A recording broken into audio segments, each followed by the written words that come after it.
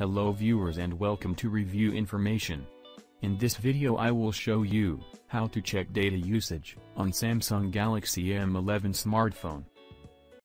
Subscribe to my channel and hit the bell icon to get notified any updates.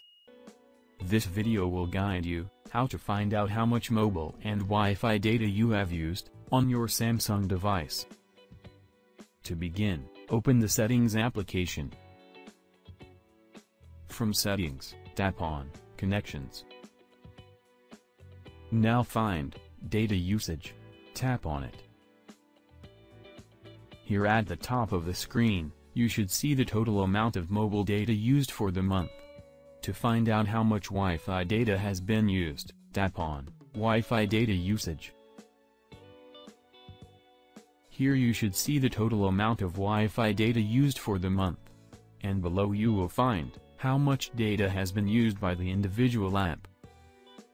From here you can change the time period, which month's Wi-Fi usage you want to view.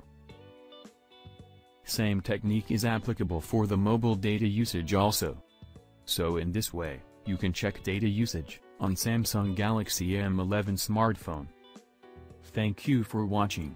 Hope you guys enjoyed my video.